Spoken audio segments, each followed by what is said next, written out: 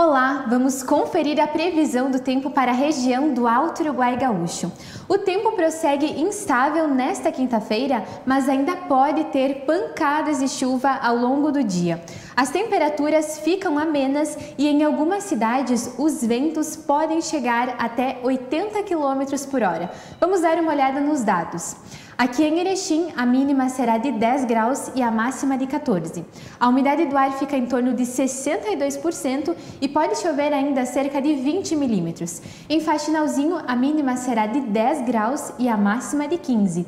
E em Centenário, a mínima será de 12 graus e a máxima de 16. Mais informações e também outros detalhes sobre o tempo você acompanha ao longo da nossa programação.